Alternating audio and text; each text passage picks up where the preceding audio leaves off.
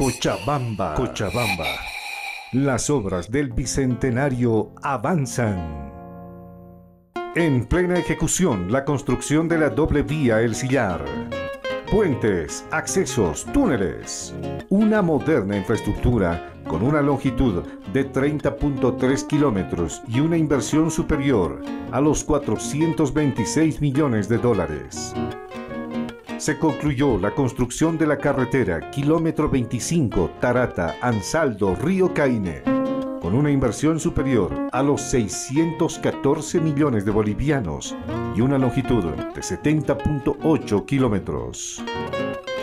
Concluimos el tramo 1 de la doble vía Cristalmayu Montero y Virgarzama Puente Mariposas con una inversión de 253.9 millones de bolivianos y una longitud de 20.9 kilómetros. Y el tramo 2 de la doble vía Puente Cristalmayu Montero, Puente Mariposas, Puente Chimoré, con una longitud de 10.5 kilómetros y más de 121 millones de bolivianos de inversión.